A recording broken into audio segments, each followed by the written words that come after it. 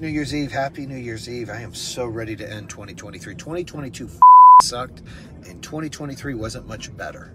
I mean, there was a lot of things we, we had to overcome, right? We had a, lost a billion dollar company last year. All those employees got hosed by Generac. I had to lay off 2,400 employees. I apologize that we couldn't do more for the employees of the customers. Start new businesses, I had to get into coaching. I had to find my identity. I had to figure some things out. We started a brand new reality show, did some filming on that, had some problems with the family.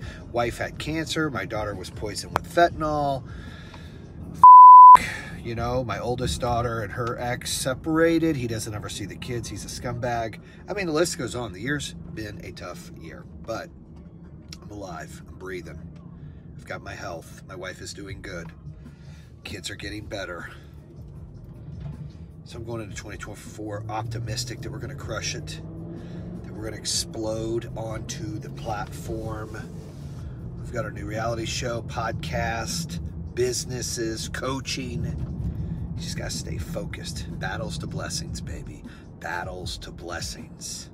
So make sure you go into 2024 and you know who you are. You know where you're going. You know what you're pushing for. You don't quit early. You finish what you started.